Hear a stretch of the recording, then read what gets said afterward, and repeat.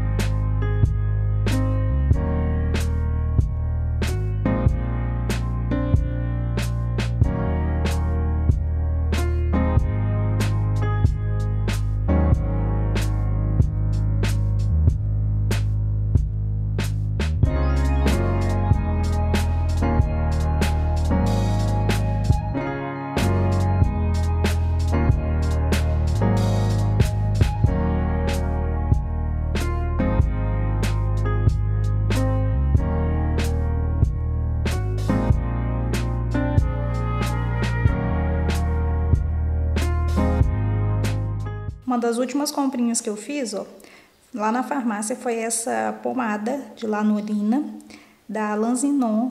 Me indicaram muito ela. E gente, é para prevenção de rachadura nos seios, né? Ela previne e trata também.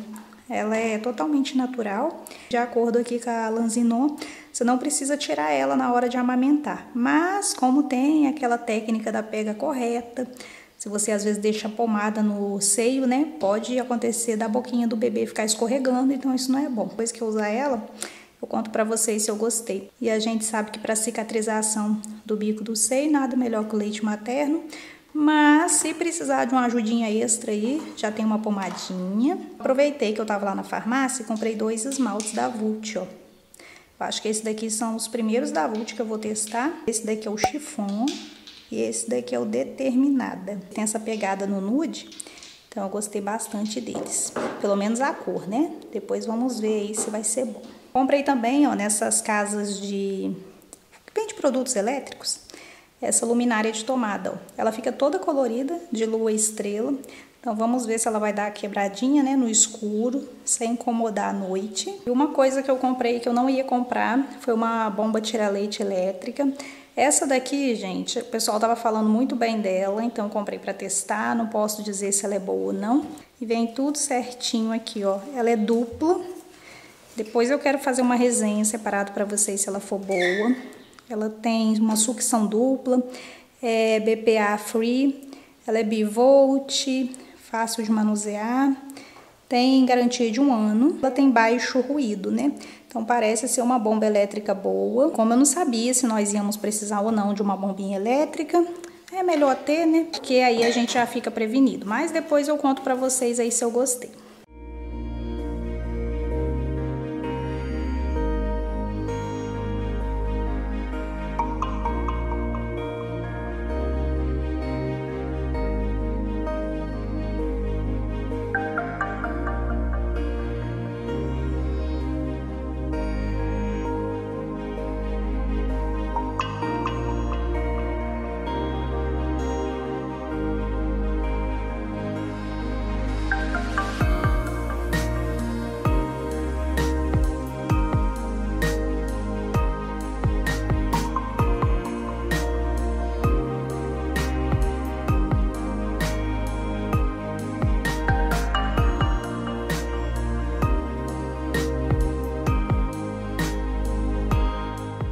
Gente, finalizando aqui o almoço, aqui tem um purê de batata comum com inhame. Eu misturei os dois, fica uma textura assim bem gostosa. Eu fiz na água hoje mesmo, né? Cozinhei o inhame e a batata. Eu amassei e refoguei na manteiga, cebola, alho e sal e coloquei uma colher de requeijão zero lactose. Então depois vocês experimentem aí que fica muito bom os dois misturados. Aqui tem o arroz com açafrão, terminando de fazer. E desse lado aqui, ó, tem o filezinho de frango acebolado. Então agora é só fazer uma saladinha, que o almoço já tá bem adiantado. Gente, já almocei. E agora na parte da tarde, eu vim aqui, ó, organizar minha necessaire para poder levar para o hospital. E esse barulho que vocês estão ouvindo aí é barulho de chuva, tá chovendo bastante, tive até que fechar a janela mas o calor ainda continua. Então vou mostrar pra vocês o que, que eu separei aqui, ó, nessa necessaire. Toda vez que eu viajo eu sempre levo ela, que eu acho que ela é compacta, mas dá bastante coisa. Não que eu vá levar tanta coisa assim pro hospital, eu vou levar só o, o basicão mesmo. Falta ainda colocar aqui a escova dental, uma escova de cabelo e o creme dental, mas isso daí depois eu coloco, eu só deixo anotado para não esquecer, né? Então vamos lá, dentro da minha necessaire vai um álcool em gel, vai um desodorantezinho bem suave, sem perfume, aquele só para manter, né, a ação antitranspirante. Uma presilha de cabelo, se precisar fazer um rabo de cavalo, alguma coisa assim. Vou levar o Cicaplast da La Roche, porque minha boca é muito ressecada. Não vou levar batom, vou levar esse lip balmzinho aqui, ó, que dá uma corzinha na boca. Um espelhinho, se precisar, né? Vou levar um blush, esse daqui da Bourjois, ó, que ele é bem pequenininho, ótimo para carregar na necessaire. Uma máscarazinha de cílios, se precisar também, não sei se eu vou usar. Para cobrir as olheiras, dar uma carinha de saúde, né? Pra gente não ficar lá tão com aquela cara assim de cansada. Eu vou levar esse Efaclar, é o BB Blur da La Roche-Posay, que ele uniformiza o tom da pele, então serve como corretivo, como uma base, deixa assim bem natural, então só vai ele na minha bolsa, não vou levar pó, não vou levar base, vou levar nada disso.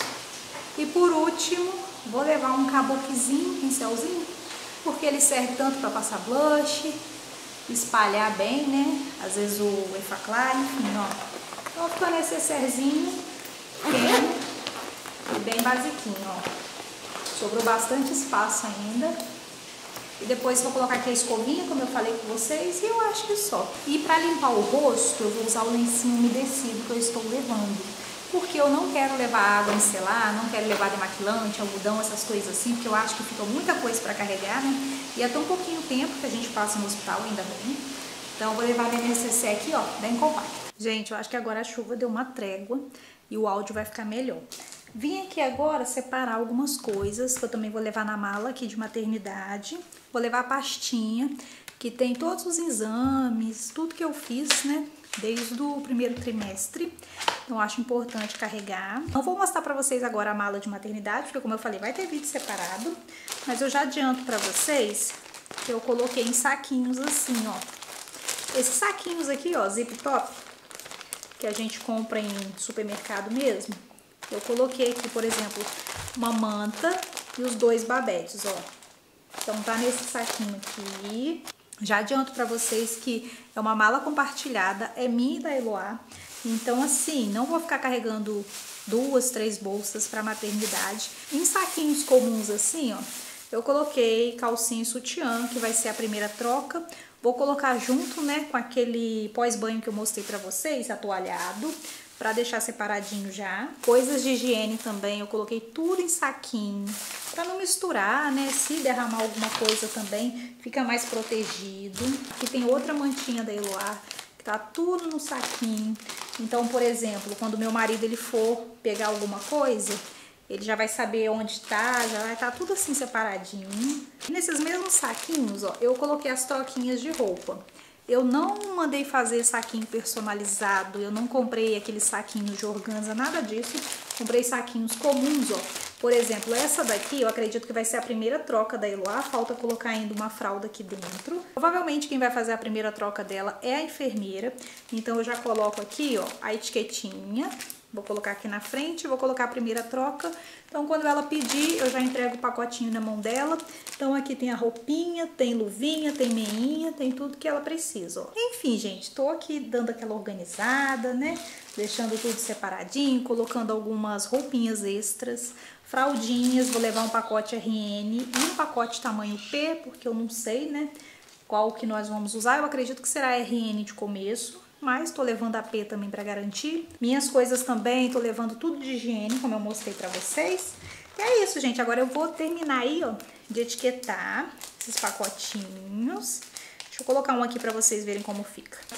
Então aqui agora eu coloquei para vocês a etiquetinha, ó. Pra vocês verem, vou escrever aqui, ó, primeiro dia ou primeira troca, para poder facilitar e deixar tudo organizadinho. Para facilitar também o lado do meu marido, né, que vai estar comigo lá, eu vou colocar aqui, ó, as etiquetinhas para identificar o que que tem no pacotinho. Por exemplo, esse daqui é uma manta flanelada, então vou escrever manta. Nesse outro saquinho aqui, ó, que eu vou colocar a manta cochoada e o babetezinho, eu vou escrever também a mesma coisa aqui, para poder estar tá facilitando. É, no caso, vai ser meu marido que vai estar comigo, então se eu pedir para ele, ah, pega uma manta, pega uma fralda, ele já sabe aonde está o que, né? Porque vai ficar bem mais fácil. Como eu falei no vídeo, provavelmente esse vlog será o último, né? Antes do nascimento de Eloá.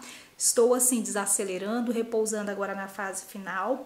Me sigam lá no Instagram do Não Sou Dondoc, que eu vou atualizar vocês por lá. Assim, eu não sei quanto tempo eu vou levar para poder estar me adaptando à nova rotina e atualizando vocês aqui no YouTube. Por isso que eu vou deixar tudo certinho lá no Instagram.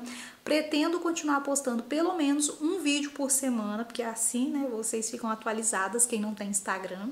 Mas fiquem tranquilas que eu não vou abandonar o canal, vou deixar vocês atualizadas pelo menos um videozinho por semana. Vou aí dar um jeitinho para poder atualizar vocês, tá? Espero que vocês tenham gostado desse vídeo. Não esquece aí de deixar o seu like, se inscreve aqui no canal e me acompanhe lá no Instagram do Não Sou Dondoca, tá bom? Super beijo para vocês e até o próximo vídeo. Bye, bye!